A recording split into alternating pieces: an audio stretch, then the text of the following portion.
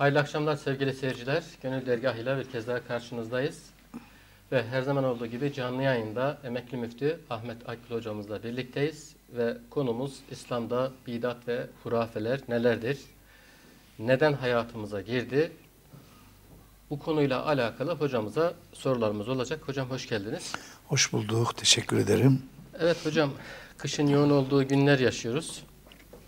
allah Teala yine rahmet etti bizlere ve baktığımız zaman Türkiye'nin genelinde yoğun bir kar yağışı, bir bereket söz konusu. Tabi bununla birlikte, kar yağışıyla birlikte bazı sıkıntılar da olmuyor değil ama e, yine de alınan tedbirlerle yurt genelinde e, hayatın akışı devam ediyor.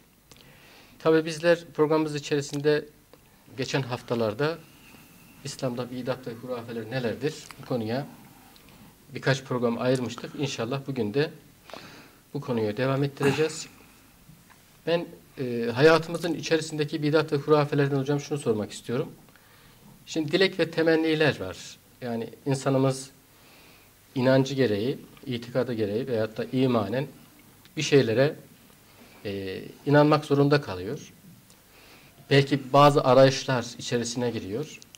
Hayatımızda bidat, hurafe dediğimiz zaman hocam bakıyoruz işte dilek ve temelliler konusunda bazı şeyler var. İşte camiye girerken cami duvarını öpmek, türbelere gitmek, işte Mekke ve Medine'den getiren toprakları hastalara yedirip onlardan şifa istemek, dileğin kabulü için ağaçlara bez çaput bağlamak.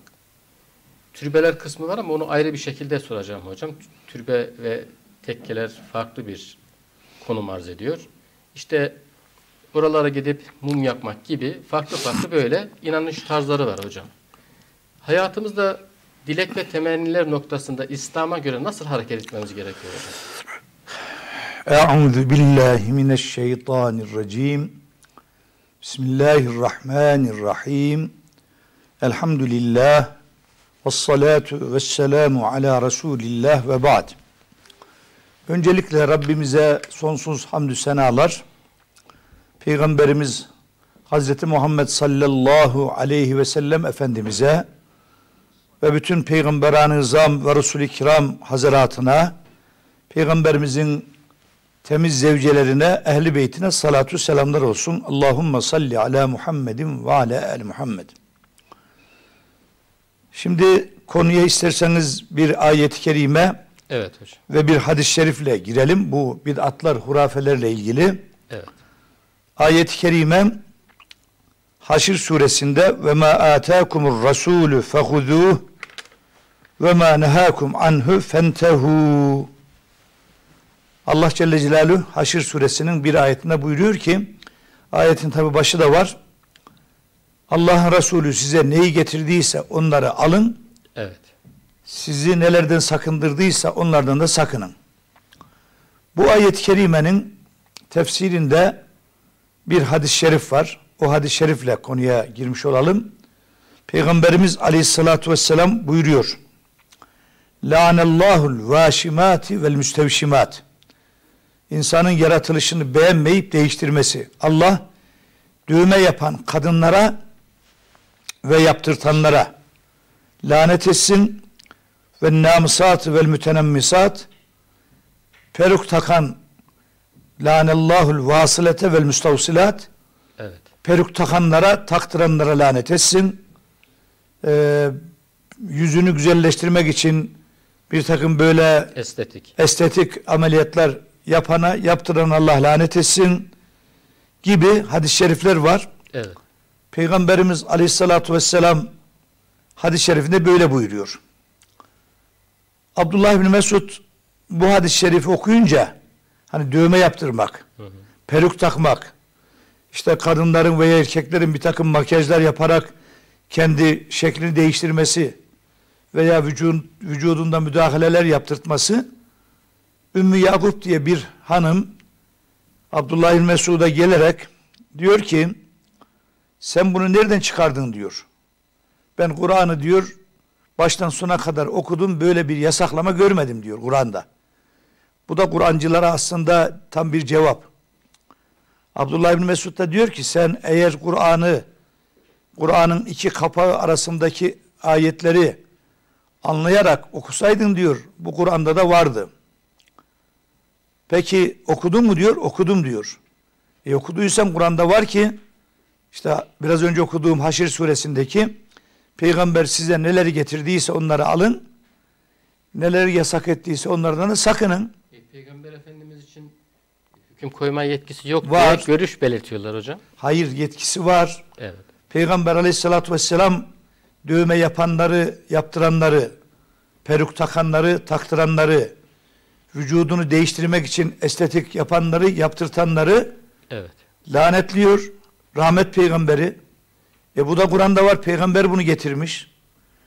Diyor ki sen eğer Kur'an anlasaydın Kur'an'da bunun olduğunu bilirdin diyor. Kur'an anlamamışsın diyor.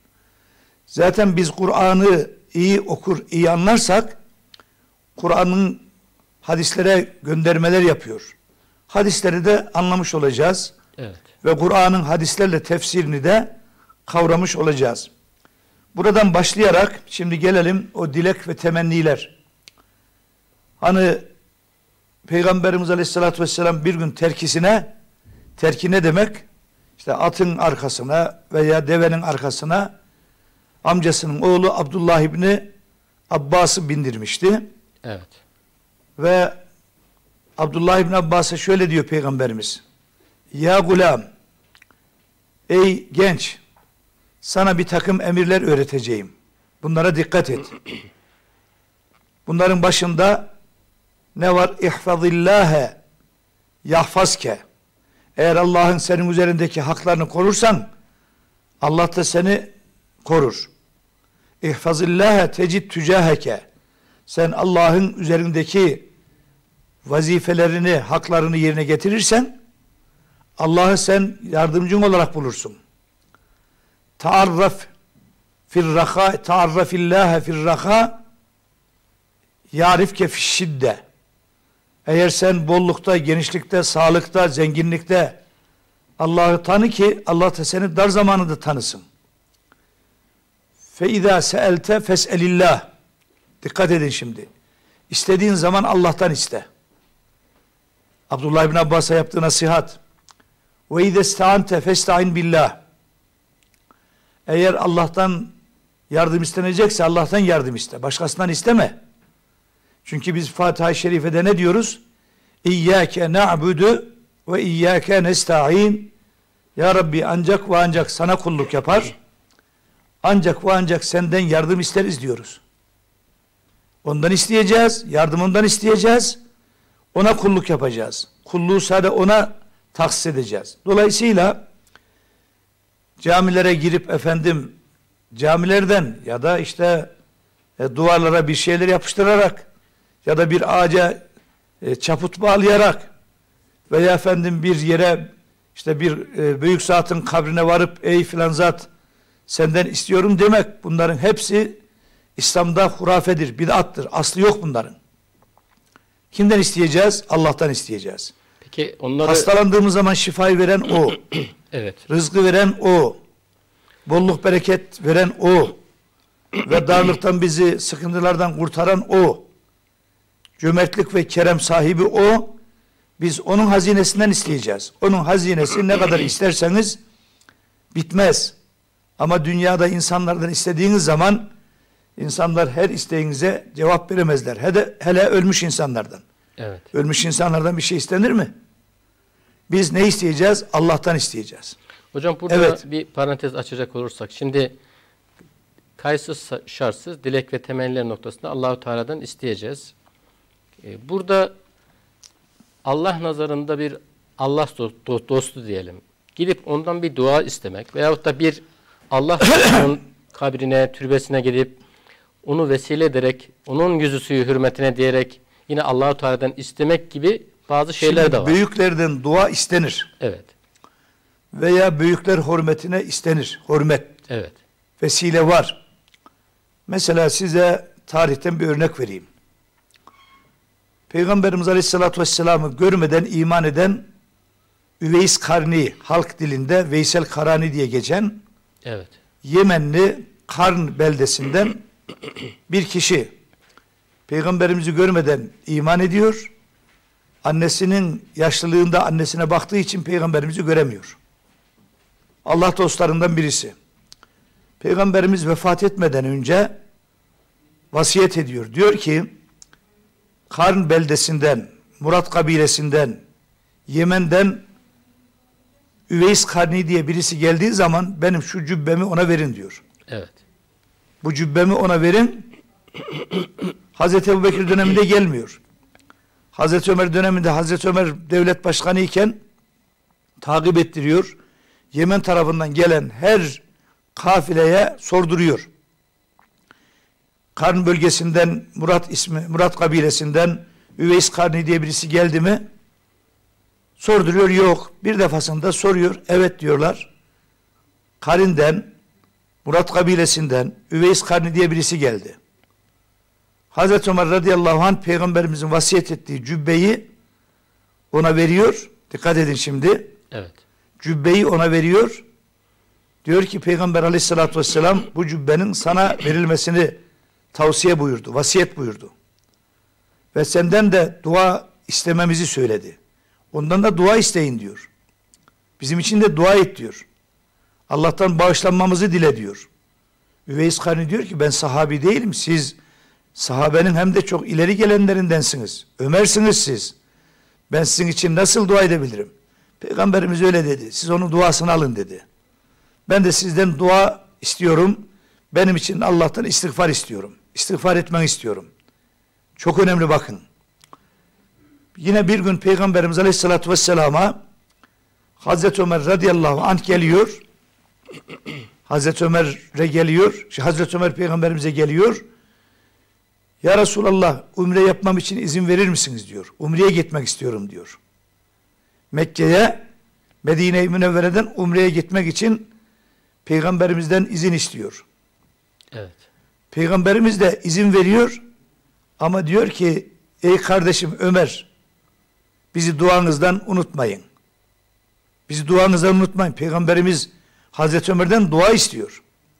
Onun için yani gerçekten ehli sünnet çizgisinde olan bir şeyhin yanına gidilince şeyh, gerçek mürşit. Evet. Böyle insanlar var elhamdülillah dünyada. Böyle müsveddesi değil, yapmacık Evet. değil, Gerçek, kendine şeyh süsü veren değil. ilmiyle amil. Gerçekten ilmi var, ameli var, takvası var. Allah ve peygamber sevdasıyla dolu Evet. insanlar var. Ya da ilim erbabı. Ona gittiğiniz zaman ondan dua isteme, istemek olur. O bir vesiledir. Diyor ki sizin ağzınızla bize yaptığınız dua geçerlidir. Hatta en geçerli dua nedir? Müslümanın Müslümanın gıyabına yaptığı duadır. Zira Müslümanın diğer kardeşi hakkında yaptığı dua temiz bir ağızda yapılan duadır. Evet. Dua isteyebilir. Ondan manevi yönden efendim isteklerde bulunabilir. Mevlamızdan benim adıma isteyin Evet. diyebilir. Evet. Bunlarda hiçbir mahsur yoktur. Evet hocam. Evet. Hocam diğer bir konuda yine aile hayatıyla alakalı bazı inanışlar var. Ben hemen hızlı bir şekilde ifade edeyim. Küçük çocukların yattığı veya oturduğu esnada üzerinden atlanıldığında boylarının kısa olacağına inanmak, çocuğu olmayan çiftlere çocukları olması için deve dili veya etini yedirmek, yeni doğan bebeğin göbek bağını kesilerek cami avlusuna bırakmak, konuşmayan çocukların konuşabilmesi için cuma namazından sonra müezzin tarafından cami anahtarını çocuğun ağzına sokmak, yürümeyen çocukların ayaklarına ip bağlayarak cuma namazından ilk çıkan kişiye ipi kestirmek, kırkı çıkmamış bir bebeğin tırnakları kesilirse o çocuğun hırsız olacağına inanmak. Devam ediyor. Çocuk doğan eve 40 gün süreyle et alınmaması gerektiğine inanmak, yeni doğan çocuğun kırkı çıkmadan evden çıkarılmaması gerektiğine inanmak, boyu ölçülen çocuğun cüce kalacağına inanmak, kapı eşiğinde oturan kimsenin borcunun artacağı ve fakir olacağına inanmak, sünnet olan çocuğun acısının azalacağına inanarak sünnet olma anında annesi veya diğer hanımların farklı şeyler yapması gibi birçok aile hayatına Bunların ilişkin hiçbir tanesi İslami değil. evet Bunların hiçbir tanesi İslami değil. Yani çocuğun boyunun ölçülmesi işte çocuk doğduktan sonra belki ahlaki yönden evet nohusa kadının evinden çıkması eee, bazı sebeplerden çıkmaması uygun olabilir. Dini yönden değil. veya mesela küçük çocuğun başkalarına gösterilmesi. Evet. Yani bunlar en azından o çocukluk döneminde işte cinlerden korunması için, şerlerden korunması için o çocuğa dua edilmesi, efendim Cenab-ı Hakk'ın e, onu koruması için Mevla'dan isteklerde bulunmaları caiz. Yoksa bu saydığınız hiçbir tanesinin ne ayetle, ne hadislerle, ne İslami kurallarla alakası yoktur. Evet. Bunların tamamı bid'attır, hurafedir, asılsız şeyler bunlar. Çünkü biz bir şeyin İslam'dan olduğunu bilmek için ya ayetten bir delil olacak, ya hadislerden bir delil olacak, sahabe-i kiramdan bir uygulama olacak ki biz bunlara efendim ne yapalım? İnanalım. Evet. Yoksa bunların hiçbir tanesi hem de bu şekilde inanmak da Allah korusun insanı bazen imanına da zarar verir bunlar. İmanına da zarar verir. İnsanın psikolojisini E, bozar. tabi tabi. Şimdi ben aslında müsaade ederseniz geçen haftadan kalan Evet hocam. birkaç husus daha vardı. Onları şöyle kısaca özetlemek istiyorum. Hı hı. Mesela İslam dininde kadınların seslerinin yabancı erkekler tarafından duyularak bir arada toplanıp kadınların mevlid okumaları, Kur'an okumaları, zikir yapmaları kadınlar mesela bir evde toplanıyor nikah düşen erkekler duyacak şekilde yüksek sesle zikir yapıyorlar. Veya mevlid okuyorlar, Kur'an okuyorlar. Kur'an okumaları değil, seslerini başka erkeklere duyuracak şekilde ilahiler yapıyorlar. Bunların dinde yerinin olmadığı ve bunların hakikaten bid'at ve hurafelerden olduğu İslam alimlerinin tespit ettikleri hususlardan. Veya mesela e, buna benzer mesela bugün kadınların kadınların böyle sahnelerde görev almaları. Bakın bunlar çok esas üzerinde durulması gereken bid'atlar bunlar. Bugün kadınların sahnelerde görev almaları, türkü, şarkı mesela İslam dininde bir araya toplanıp sesleri duyulacak şekilde mevlid okumaları, ilahi söylemeleri, zikir yapmaları caiz değilse e, sahnede görev almaları hem de mahrem yerlerini ifşa ederek, teşhir ederek ve şarkı, türkü benzeri şeyler bunları yapmaları dinde caiz değil. Bırakın kadınları erkeklerin yapması da caiz değil.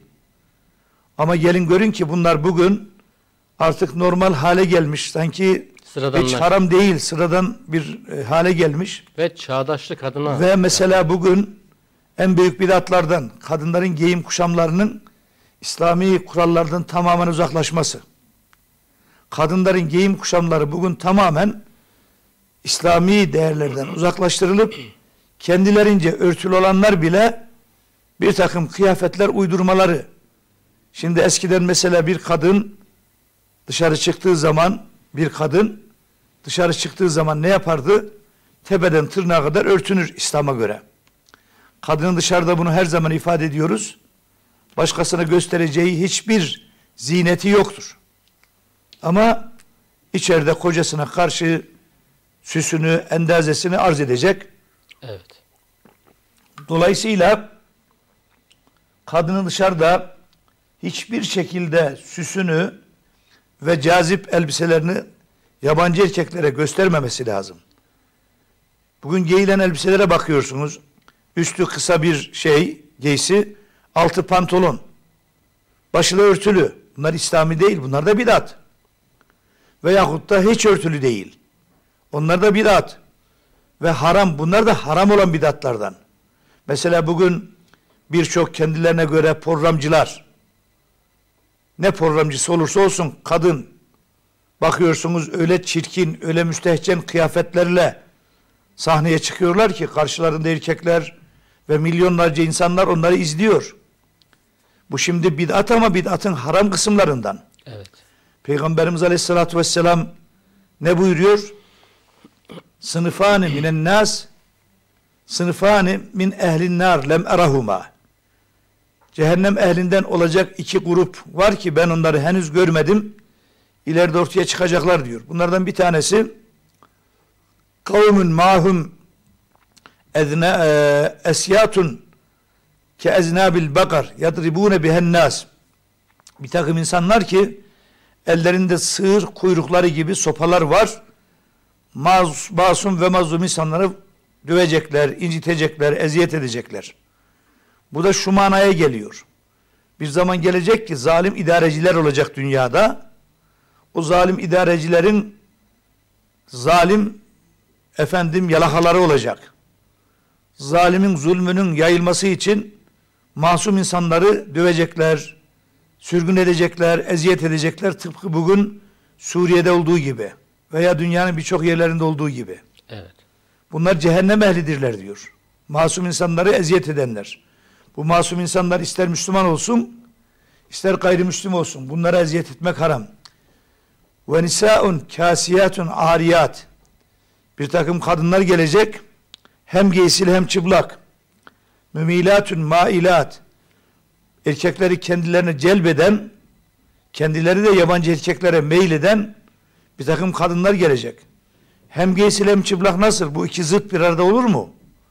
Yani bir takım yerleri örtülü, diğer bir takım yerleri açık. Şimdi mesela özellikle bu gençlerimizde erkekler, kızlar sanki bu efendim göbekle işte e, memeler arası sanki haram değil. Veyahut da işte efendim dizden aşağı daha yukarıdan aşağıya haram değil. Çok müstehcen elbiseler giyiyorlar. Bunlar haram olan bidatlardan. Ümmet bunları tamamen unuttu. Evet. Kızlarımız böyle, torunlarımız böyle. O zaman bunlar diyor ki Peygamberimiz kendileri başkalarına meyleden, başkalarını da kendilerine meylettiren ruusuhunne ke esnimetil buhtil buht el maile başları da diyor buhtu nasır devesi var Araplarda. Buhtu nasır devesi hörküşleri böyle yüksekçe. Buhtu nasır devesinin hörküşleri gibi saçları arkada böyle topuz edilmiş. Güya başı örtülü. Bak başı örtülü. Saçı da burada toplamış çok dikkat çekici. Peygamberimiz bunları da yasaklıyor. Kadının saçı gözükmeyecek. Bir de böyle yabancı erkeklerin dikkatini çekecek şekilde saçlar başa böyle toplanmayacak. İslam'a göre örtü. E bunlar peki ne olacak? Bunları yapanlar, yaptıranlar, yapanlar ve yaptıranlar la yedhulnel cennete. Tabi bu tehdit için, korkutmak için. Bunlar cennete giremezler ve la yecidne rihaha. Peygamberimizin ifadesi. Evet. Bunlar cennetin kokusunu dahi alamazlar. Ve inne rihal rihaha letucedu min keza ve keza. Min mesireti keza ve keza. Cennetin kokusu çok uzak mesafelerden cennet ehline geldiği halde bunlar cennetin kokusunu dahi alamayacaklar. O zaman bu şekilde kadınlarını gezdirenler, kızlarını bu şekilde müsaade edenler ve özellikle bugün erkek gençler, üniversite gençliği, lise gençliği, efendim veya serbest gençler, e bakıyorsunuz vücudunun her tarafını dövme yaptırmış. Ya bunlar nasıl bidat? Fele yugayyirunne halkallah ayet-i kerimede. Şeytan bunlara vesvese veriyor, aldatıyor ve bunların gözünde bu hallerini güzelleştiriyor. Bunlar da diyorlar ki bizim şeklimizi değiştirmemiz lazım. Tepeden tırnağa kadar. Hatta kadınlar yani vücudunun her tarafına dövme yaptırtıyor. E şimdi biz bunlara hatta bazı hocalara soruluyor. Bu haram mı değil mi? Adam geveliyor. İşte haramdır, mekruhtur falan. Nasıl mekruh kardeşim bu? Kesin haramdır. Evet. Erkek olsun, kadın olsun. Kadın diline dövme yaptırıyor. Dişlerine efendim bir takım böyle güzel gözükmesi için çeşitli operasyon yap, yaptırtıyor. Peki yüze takılan bu hızma falan denen şeyler var. Bunlar da hep bidat. Bunların hiçbirisi İslami ne- değil. Piercing deniyor hocam. Onların hepsi, hepsi, hepsi Peygamberimiz zamanında Dikkat çekici. sahabe zamanında olmayan mesela kadınların küpesi olur. Kadınlar küpe takabilir. Ama küpeleri de namahreme gözükmeyecek. Yüzük takabilir İslam'a göre zinet. Bilezik takabilir. Gerdanlığı olabilir. Ama namahremlere göstermemek şartıyla. Evet hocam. Evet bunun gibi daha niceleri var. Bir hatırlatma yapayım. E, Bu konuyla alakalı bir de sorum olacak. Değerli seyirciler, programımız içerisinde WhatsApp hattımızdan şu anda ekranlarımızda soru sorabilirsiniz. Numaramız 0545 241 47 çift 0. Arama yapmadan yazıyla bu hattımıza sorularınız olursa gönderebilirsiniz. Hocamıza yayınımız içerisinde soracağız. Şimdi hocam bir de hanımların camilere, mescitlere gitme durumu var. Geçen bir televizyon programında e, bir ilahiyatçı bu konuyla alakalı hanımları neden camilere, mescitlere göndermiyoruz diye bir serzeniş vardı. E, şimdi bu konuyla alakalı hocam ayet, hadisi şerif var mı? Günümüz itibariyle hanımların mescitlere gitmesi ne kadar uygun olur? Neler söylersiniz hocam? Şimdi burada tabi hadis-i şerifler var. Evet. Peygamberimiz Aleyhisselatü Vesselam kendi dönemindeki hanımlar için özellikle bayram namazlarında hatta cumalarda gelmelerini tavsiye ediyor. Ve buyuruyor ki la temne'u ima Allahi anil mesacit ya da minel mesacit. Kadınları Allah'ın mescitlerinden engellemeyin, uzaklaştırmayın. Başka bir hadis-i şerifinde de kadınlar için mesacidühünne garu buyutihinne. Onların mescitleri kendi iskan ettikleri evlerdir. Kendi odalarıdır. Kendilerine mescit edindikleri yerlerdir. Mesela bir kadın eğer İslam'a uygun şekilde İslami manada mütesettire yani örtülü ve mahrem yerlerini kimseye göstermeden uygun bir biçimde gitse gidebilir mi? Gidebilir. Ama caminin kapısına varıncaya kadar saç baş açık, caminin kapısına vardığında çantasından bir örtü çıkaracak, başını örtecek, yarım yamalak, namazını kılacak, çıkacak, ondan sonra tekrar başını ört açacak ve devam edecek. Evet. Böyle bir camiye gelmesi gelmesi mi uygun, gelmemesi mi? Gelmeme, gelmemesi uygun. Şimdi İslam dini şartlarına uygun biçimde olursa kadınları yasaklamıyor. Ama bugünkü şekilde mesela bir örnek vereyim. Diyelim ki Kadir gecelerinde veya mübarek gecelerde, camilerde kadınlar da geliyor, erkekler de geliyor. Camiler çoğu kez tıklım tıklım doluyor. Evet. Bu hastalık sebebiyle biraz tabi bunlar yani azaldı. Şimdi diyelim bizim Ulu Cami, misal. Ulu Cami'de kadınlara tahsis edilen yerler var. Evet. Erkeklere tahsis edilen yerler var. Kadınlar kendilerine ayrılan yerlere sığmıyor. Sonra efendim dışarıda namaz kılıyorlar. Erkeklerle karma karışık. Karma karışık. Şimdi böyle bir namaz olur mu? Böyle camiye gelinir mi? Mesela kadınlar dini öğrenmek için camiye gidebilirler. Namaz kılmak için de İslam'a uygun biçimde kendilerine tahsis edilen yerler varsa gidebilirler. Hocam şimdi böyle deyince bu kez de diyorlar ki işte e, hacda, Kabe'de kadın erkek karışık. Karışık Orada niye orada da olmaz. diyorlar. Orada da olmaz. Niye? Orada da zaten bir zamanlar öyle karma karışık kılanlar oldu. Evet. Fakat şimdi elhamdülillah tabi bu hastalıktan önce de hac döneminde ayırıyorlar. Yani erkekleri kadınları. Mesela tavaf yaparken falan. Tavaf yaparken artık mümkün değil. Evet. Orada mecburiyet var bir yerde. Belki o da mümkün olabilir şöyle. Aynı şimdi mesela hastalık zamanında orada bir engel koymuşlar. Onun içinden tavaf etmek yasak. Dıştan tavaf edecek. Evet. Kadınlarla erkekler arasına da böyle bir şey konulabilir ama yaşlı yaşlı kadınlar gidiyor. Oğlundan ayrıldığı zaman, kocasından ayrıldığı zaman onlar kendi başlarına tavaf yapamıyorlar. Refakatçinin olması. Refakatçisinin olması lazım. Onun için o hacca mahsus bir şey. O beraberce tavaf etme. Evet. Ama camilere gelince camilerde men edilmez ama gelme şekilleri çok önemli. Bazı şartları var. Şartları var. Evet. Mesela Peygamberimiz Aleyhisselatü Vesselam dedim ya bayram namazlarında kadınların da gelmelerini hatta adetli kadınlar çünkü Peygamberimiz bayram namazlarını mescitte kıldırmıyordu. Musallalarda kıldırıyor. Musalla ne demek? Bir alan. Dışarıda bir alanda namaz kıldırıyor ve diyordu ki kadınlar gelsin. Hatta adetli olan kadınlar da gelsin. Namaz kılmasınlar. Geride sohbeti dinlesinler. Ondan istifade etsinler. Ama oradaki şartlara Tabii ki İslami şartlara uymak caminin şart içi değil bu yalnız. Evet. Sahra dedim ya boş alanda namaz kılıyorlar. Kadınlar mesela erkeklerin arkasında erkeklerin arkasında ve onların arkasında da efendim işte adetli kadınlar oturuyorlar. E, tesettüre riayet tabii ki elbette. Evet. Tesettürsüz olmaz. Tesettürsüz olmaz bir defa. Yani bugünkü şekliyle peygamberimize peygamberimiz zamanında böyle olsaydı peygamberimiz müsaade etmezdi. Bugünkü şekliyle. Çünkü giden genç kadınlar var. Burada mecburiyet yoktur. Yani kadınlara gitme mecburiyeti yok. Ama erkekler için camide cemaatle namaz kılmak geçenki sohbetimizde de sanıyorum geçmişti. Hanefi mezhebine göre sünnet-i müekkede Evet. İmam Ebu Yusuf, İmam-ı Azam'ın talebelerinden ve İmam Şafii Hazretlerine göre cemaatle namaz kılmak farz. Camide olur, iş yerinde olur, dairelerde olur. Cemaatle namaz kılmak farz İmam Şafii Hazretlerine göre. İmam-ı Azam'a göre de sünnet.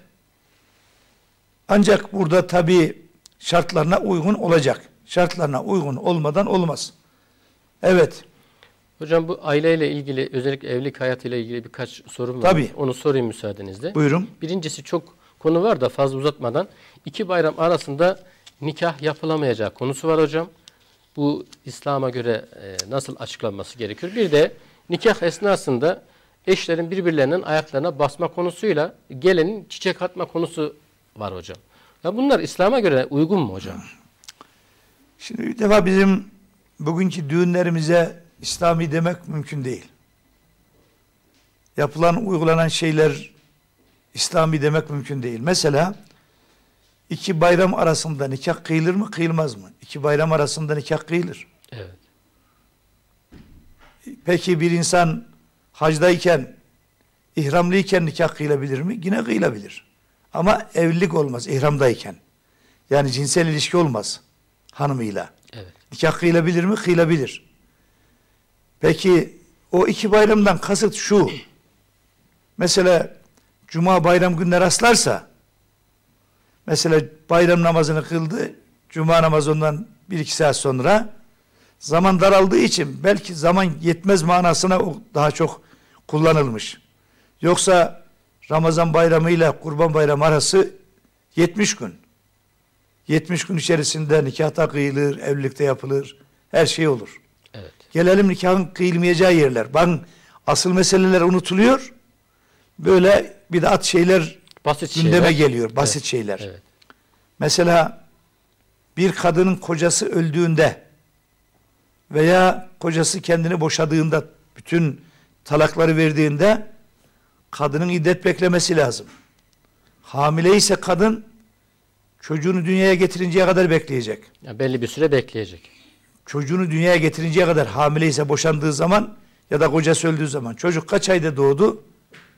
Diyelim 4 ayda, 5 ayda, 8 ayda Evet. bekleyecek. Eğer boşanan kadının çocuğu yoksa gebe değilse üç hayız adet gören kadınlar üç adet görecek ki bir başka erkekle evlensin ya da nikah geçerli olsun. Peki kocası ölen kadın ne kadar bekleyecek? Bekleme süresi. Buna iddet diyoruz. 4 ay 10 gün. Hamile değilse. 4 ay 10 gün bekleyecek nesebin sabit olması için. Yani o kadında çocuk var mı yok mu nesebin sabit olması için bekleyecek. Şimdi bunlar mesela bugün bir kadın düşünün evleniyor birisiyle din nikah kıyıyor aradan ay geçmeden ondan ayrılıyor gidiyor bir başkasıyla tekrar evleniyor. Bu zina olur hiç nikah olmaz onunla. Veya kocası ölüyor dört ay on gün beklemeden gidiyor bir başkasıyla evleniyor. Yine nikah olmaz. Gelelim öyle kadının nikah esnasında erkeğin ya da gelinin ya da damadın birbirlerinin ayaklarına basması. Bunlar İşte testi kıranlar var. Üzerinden hiç- para atanlar var. hiç bunların bir tanesi İslami değil. Bazıları böyle artık adet olmuş ama hoş da bir adet değil yani. Gelenek haline Yani geldi. gelenek haline gelmiş. Evet. Hele hele mesela bugün e, düğün yapıldığında gelinle damadın işte kalkıp toplumun huzurunda efendim oynaması, dans yapması e, böyle ya da gelinin gelin namzedinin böyle İslami tesettürden uzak olarak e, böyle gelinlik giydirilmesi. Şimdi bakıyorsun bir İslami manada tesettürlü gelinlik var, gelinlik var. Bir de tesettürden uzak gelinlik var. E şimdi tesettürden uzak O sorulmuyor. Bu caiz mi değil mi? E şimdi bunları bir defa bu şekilde gelinin başkalarına bu şekilde gösterilmesi haram. Evet. Peki burada vebal kime? Hem damada hem geline, gelinin babasına, damadın babasına, onların velileri kimse onların kazandıkları günahlardan bir misli de onlara yazılacak. Hayırlı bir işte daha başlarken yanlış yapıyoruz hocam. Yanlış Elbette başlıyoruz. bir aile temel atılırken Evet. haramlarla temel atılıyor. Evet hocam. Evet. Hocam o devamında e, devam etmeyecekseniz başka sorular E, var. sorunuz sorun. Şimdi Sizin sorularla devam edelim o tamam zaman. hocam. Şimdi geçen hafta cenazeyle ilgili bazı şeyler söylemiştiniz ama birkaç tane daha soru var burada. Evet. Şimdi cenazenin 7, 40 ve 52. gecesi ölüm yıl dönümü veyahut da hatim ve mevlüt okutmak. Bu uygun mu hocam?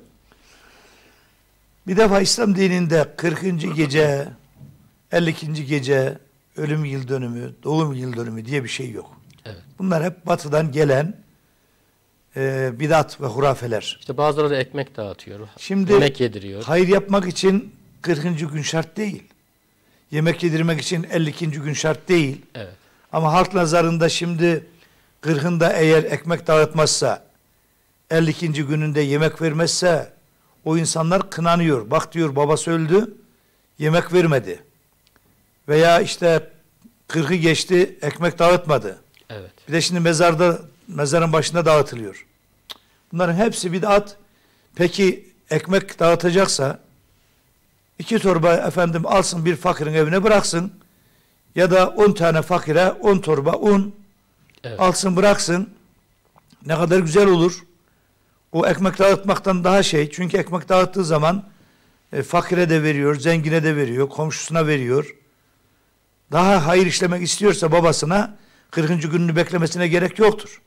Bir hafta sonra vefatından efendim un alsın dağıtsın, şeker alsın dağıtsın, pirinç alsın dağıtsın, efendim fasulye alsın dağıtsın, babasına istediği kadar hayır yaptırsın, yaptırsın, yapsın. 52. gün, 40. gün, e, ölüm yıl dönümü. Kardeşim ölüm yıl dönümü geldi. İşte babamızın bir sene oldu ölümüne bir mevlüt okutalım, bir hatim okutalım. Tamam, işi bitti. Öyle değil. Bir evladın ölen anne babası için en hayırlı işi Ercan Bey Evet. ibadet ehli olmasıdır. İbadet ehli.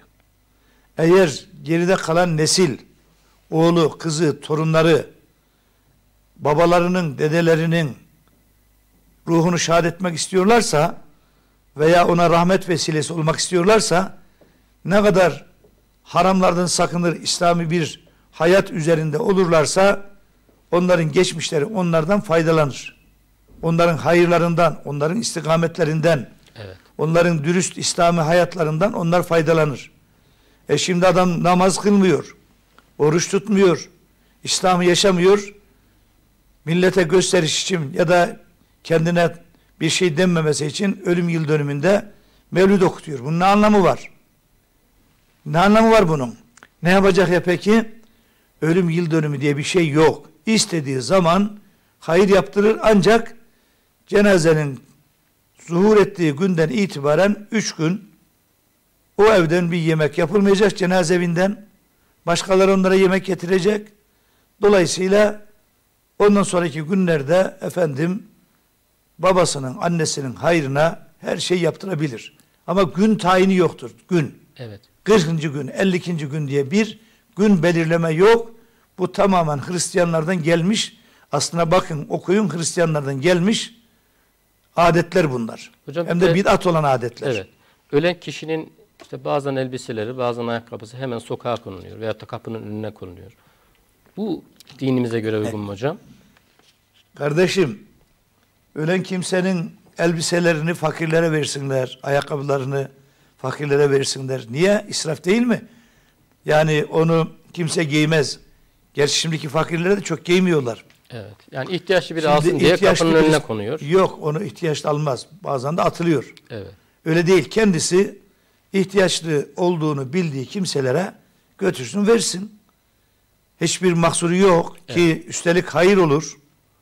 Ha yıkaması gerekiyorsa yıkasın, ütülesin, efendim götürsün fakire versin, fakirlere versin. Önceden öyle bir alet vardı E, hocam. tabi vardı. Cenaze Tabi vardı. evinde çamaşır yıkanır. Evet.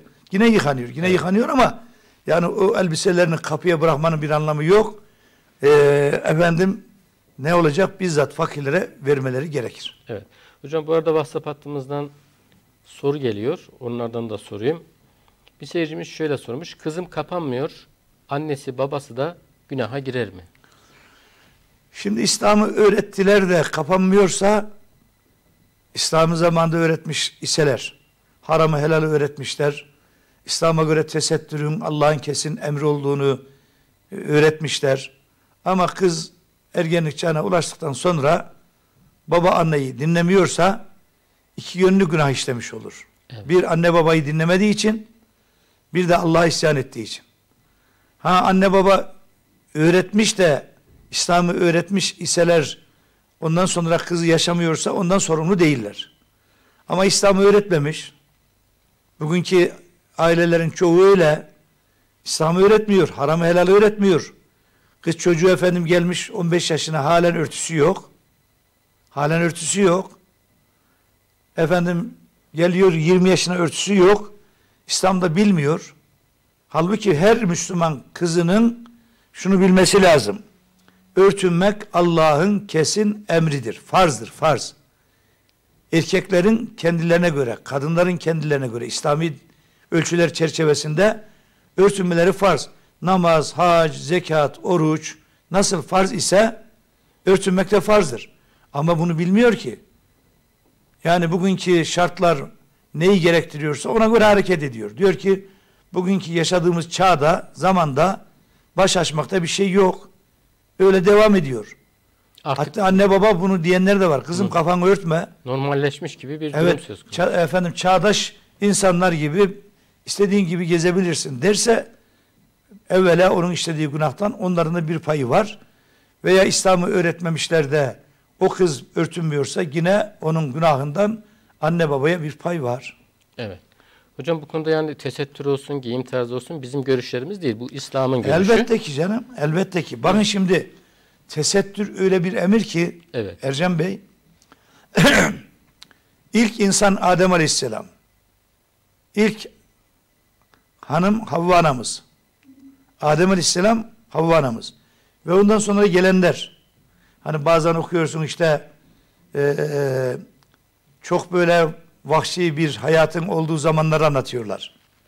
Halbuki ilk insan Adem Aleyhisselam peygamber. Peygamber oldu. Eşi Havva da peygamber hanımı. İlkel çağ diye bahsediyor. İlkel çağ Evet. diyorlar. Halbuki onlar cennete konulduğu zaman cennete ait elbiseleri vardı. Cennetten çıkarıldıkları zaman dünyadaki elbiseleri. Allah Celle Celaluhu Araf suresinin 3. sayfasında şöyle buyuruyor. Ya beni Adem'e Ey Adem oğulları. Yani Adem Aleyhisselam zaten elbiseli. Evet. Adem oğulları. Bütün Adem soyundan gelenlere hitap bu.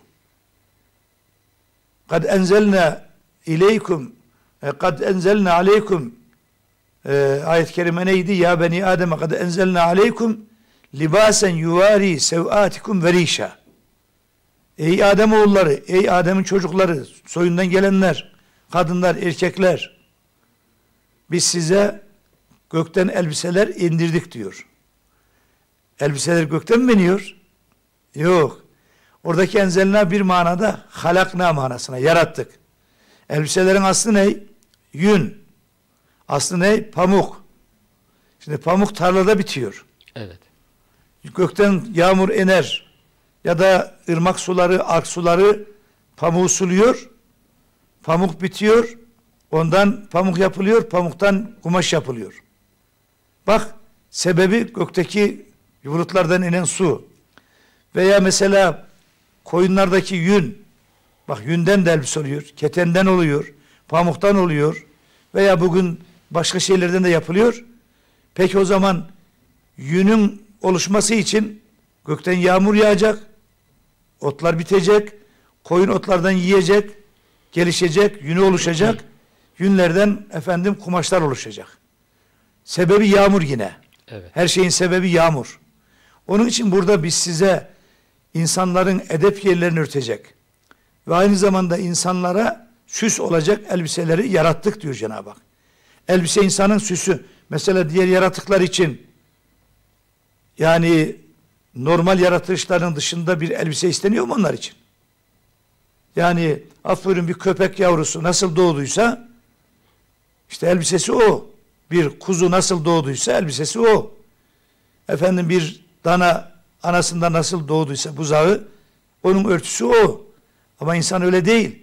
İnsan doğuyor hemen duvar doğmaz efendim hemen duvar doğmaz ne yapılıyor? Güzel bir beze sarılıyor.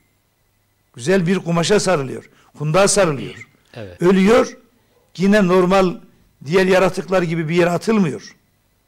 Öldüğü zaman yıkanılıyor, kefenleniyor, İslami merasimler yapılıyor ve kabre konuluyor.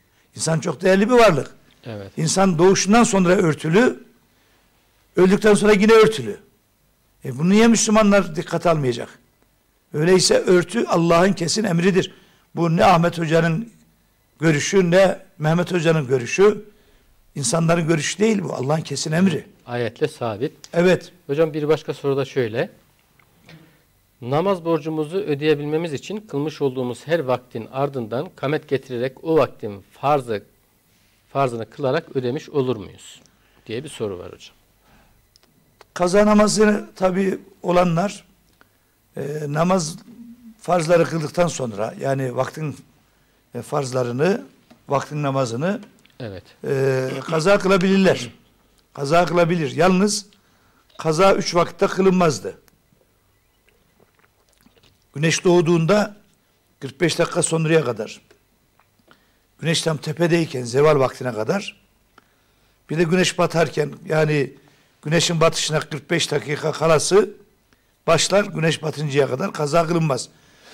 Bunun dışında namazlardan sonra kaza kılabilir. Yalnız erkekler için kaza namazı kılarlarken önce kendi duyacağı kadar bir ezan okuyacak. Evet. O vaktin ezanı onun ezanı değil. Ezan namazın sünnetidir. Ezan namazın sünneti. Vaktin sünneti değil. Onun için her vakitten sonra bir kaza kılacaksa bu kadınlar için değil. Kadınlar da kılabilirler kazayı ama kadınların kâmet okuması, ezan okuması şart değil. Erkekler önce bir kendi duyacağı kadar ezan okuyacak. Hatta camide olsa bile kendi duyacağı kadar. Sonra kâmet getirecek. Ondan sonra hangi vakti kılıyorsa hangi vaktin kazasını son olarak kılamadığım sabah namazının kazası ya da ilk kılamadığım sabahın, öğlenin, ikindinin kazası gibi niyet ederek kılacak. Hem ezan okuyacak hem kâmet getirecek. Sade kâmet değil. İnşallah e, soran kardeşimiz anlamıştır. Evet.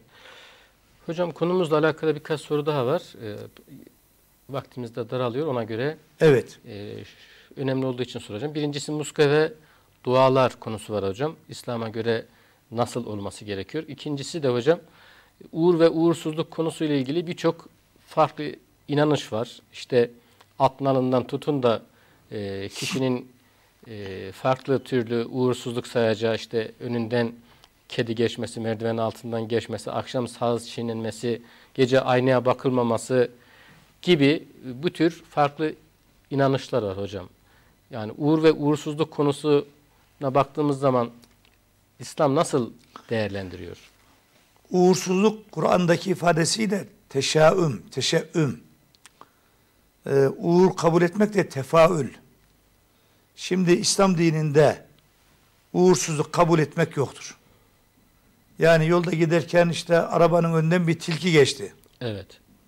Veyahut da bizim işte bacanın dumanı böyle eğri büğrü çıktı. Bir kara kedi geçti. Veya kara kedik geçti. Veya işte baykuş öttü. Efendim Karga- bunlardan uğursuzu kabul etmek ya da filan şahsı gördüm bugün hiç kar edemedim. Uğursuz bir insan. Bunları uğursuz kabul etmek dinde yok ama uğur kabul etmek var. Şimdi bir de hocam şöyle kulak çekilip tahtaya vurma meselesi var. O da O da hiç İslami değil. Evet. Şimdi mesela uğur ne demek? Ee, sabahtan dükkanını açarken açmak için giderken birisiyle karşılaştın. Selamun aleyküm dedi sana. Dedi Cenab-ı Hak sana hayırlı kazançlar lütfeylesin. Duası böyle geçerli olacağına inandığı bir insan. Sen de o duaya amin dedin. Akşam hakikaten diğer günlerden farklı karın oldu. Dedin ki ya ben filan şahısla karşılaştım. Selam verdi bana. Efendim hayırlı ticaretler elde etmem için dua etti. Benim bugün işim çok iyi gitti. Yani bereketli oldu kazancım diyebilirsin. Uğur kabul etme var ama uğursuzluk kabul etme yoktur. Bu müşriklerin mesela müşrikler e, peygamberleri uğursuz kabul ediyorlar. Hem de diyorlar ki galut tayyerna bike ve, men maake ey işte Musa, ey İsa, ey diğer peygamberlerden herhangi birisine biz seni de seninle beraber olan inananları da Müslümanları da uğursuz kabul ediyoruz. Allah ne buyuruyor? Kâle ta'irukum mâkum. Sizin şerriniz, sizin uğursuzluğunuz sizinle beraberdir. En büyük uğursuzluk küfür, inkar, şirk. Evet. Size nasihat yapıldığı zaman, öğüt verildiği zaman, hatırlatmalar yapıldığı zaman siz peygamberlere bizim uğursuzluk sebebimiz bunlar mı diyorsunuz? Peygamber uğursuz olur mu? Peygamberler özel seçilmiş insanlar. Müslüman uğursuz olamaz. İslam uğursuzluk olamaz. Öyleyse bunlar müşriklerin adetleri. Hatta diyorlar ki senin yüzünden bizim başımıza bu belalar geliyor. Peygamberlere böyle diyorlardı. Senin yüzünden işte kuraklık oluyor. Senin yüzünden yokluğa mahkum oluyoruz. Peygamberler rahmet vesilesi, Evet. onlara göre uğursuzluk vesilesi. Onun için İslam'da bunlar geçerli değil. Hocam peki Mesela akşam işte aynaya baktı, bakabilir. Evet. Akşam tırnağını kesti, kesebilir. Çocuğun tırnağını kesti, kesebilir. Çocuğun saçını kesti, kesebilir. Mesela Peygamberimiz Aleyhisselatü Vesselam doğan çocuğa ne diyor? Doğan çocuk için doğduktan sonra güzel bir isim koyacaksınız. Sonra efendim çocuğa uygulanması gereken e, mümkünse akika kurbanı. Yani çocuğun e, selameti için e, daha sıhhatli, daha hayırlı olması için bir kurban kesip siz de yiyebilirsiniz. Anne babanıza yiyebilir, komşularınıza da verebilirsiniz. Veyahut da işte peygamberimizin hurmayı böyle şıra yapıp evet. ezip macun yapıp o macunla bizzat peygamberimiz kendi eliyle küçük çocukların damaklarına böyle sürüyor. Buna tahnik diyor. Bunlar yapılabilir mi? Yapılabilir. Ve diyor ki doğuşunu mu takip yedi gün içerisinde saçını da tıraş edin çocuğun diyor. Bakın şimdikilere sorsan olmaz. Onun ağırlığı kadar da işte sadaka verin. Tabi illa tartması şart değil. Yani bir miktar gücünüz yettiği kadar fakire sadaka verin o vesileyle. Evet. Bunlar hep İslam dinine tavsiye edilen şeyler. Onun için bu uydurma şeyler belki binlerce mesele var. Bunların biz hiçbirine inanmayacağız. Ancak bir şeyin daha önceden de söyledim. e, İslami midir, değil midir? Yani sünnete uygun olup olmamasına bakacağız. Dine uygun olup olmamasına bakacağız. bir Hocam- şeyin doğru olması için. Konuda son olarak şunu sorayım.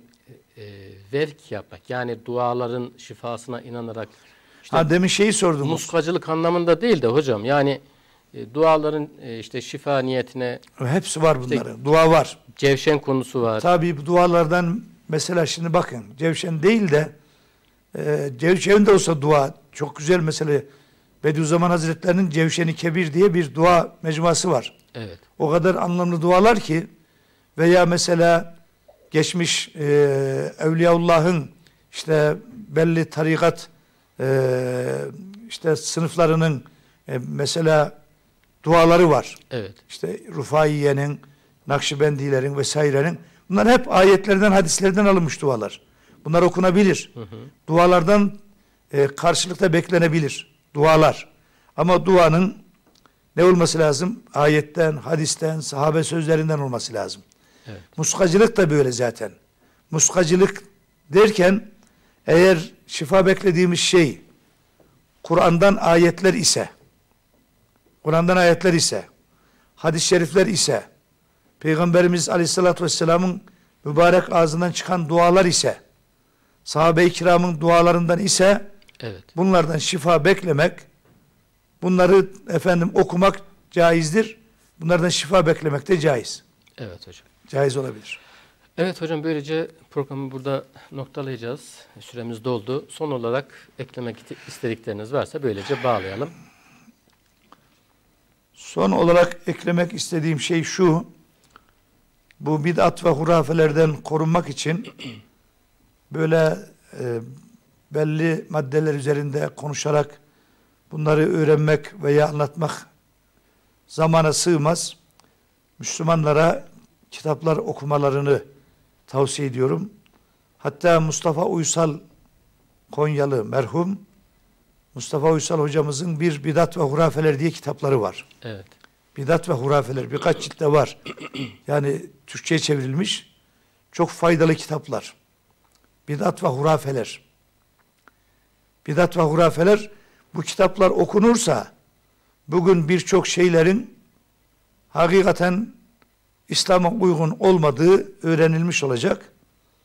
Özellikle bu türkücülerin, şarkıcıların efendim çirkin sözleri var bazen sözlerin içerisinde. Kader inkar eden, kendi yaratılışını beğenmeyen, Onlar var hocam. Efendim, vaktimiz yetmedi. ee, Evet. yetmez. Zaman yetmez buna. Evet. Bunların öğrenilmesi için hakikaten okunması lazım. Ben bu vesileyle e, dua ederek sözlerimi noktalamak istiyorum.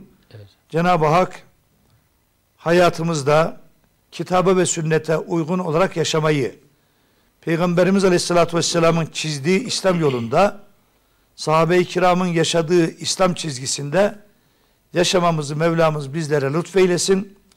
Bu vesileyle hastalarımıza Mevlamız şifalar, Amin. dertlerimize devalar, borçlu olan kardeşlerimize acilen e, helal kazançlarından borçlarını ödemeler nasip eylesin. Özellikle hakikaten Suriye'de, Filistin'de, Arakan'da, Doğu Türkistan'da, Mısır'da, Yemen'de çok yerlerde Müslümanlar eziyet altındalar. Cenab-ı Hak bu kardeşlerimize de en kısa zamanda başarılar lütfeylesin. Kardeşlerimizi bu zalimlerin zulmünden inşallah kurtarsın. Ve ümmeti Muhammed'e de birlik, beraberlik, şuur nasip eylesin Oradaki diyorum. kardeşlerimiz de yardım bekliyor. Evet, evet. Bilhassa bu Afganistan bugün güzel bir haber okudum. Ee, yani Türkiye'den 750 bin ton işte gıda, ilaç gibi e, yardım treni gönderildi. Çok güzel. Yani Türkiye hakikaten bu konularda çok hassas. Bütün İslam aleminin merkezi yani. Evet. Bakıyorsunuz yani işte depremlerde veya işte bu tür Afganistan'ın hali çok perişan. Bakın Amerika orayı işte 20 sene içerisinde perişan etti. Yani bir ekmeğe muhtaç kıldı. İlaçsız, çaresiz insanlar perişanlar. Elhamdülillah ülkemizden de efendim işte bakanların da iştirakiyle İçişleri Bakanı, Ulaştırma Bakanlığı, Diyanet'in de iştirakiyle Evet. efendim 750 bin ton şeklinde efendim bir yardım gönderildiği ifade edildi. Çok güzel bir şey. Evet hocam. Hocam çok teşekkür ediyorum. Ben Ağzınıza teşekkür sağlık. ederim. Allah razı olsun. İnşallah haftaya farklı bir konuyla devam ederiz. Gelecek haftaya isterseniz müsaadenizle söyleyeyim. Evet. Gelecek haftaya 3 aylar önümüzdeki çarşamba Regaib Kandili. giriyor. Evet. Önümüzdeki çarşamba 3 ayların biri. İnşallah gelecek hafta da 3 ayların başlangıcı zamanı değerlendirme, Evet. zamanı nasıl değerlendirmemiz gerektiği hususunu işleyelim inşallah. İnşallah hocam. Çok teşekkür ediyorum tekrar. Sevgili seyirciler böylece programımızı noktalıyoruz.